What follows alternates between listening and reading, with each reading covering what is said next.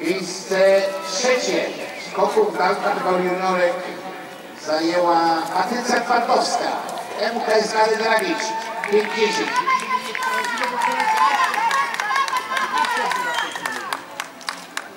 Miejsce drugie. Aleksandra Janiczka, MKS Gary Dragicz, 34. Miejsce pierwsze. Natalia Benedyklińska, Stal Osługi Polskiej, 5,76.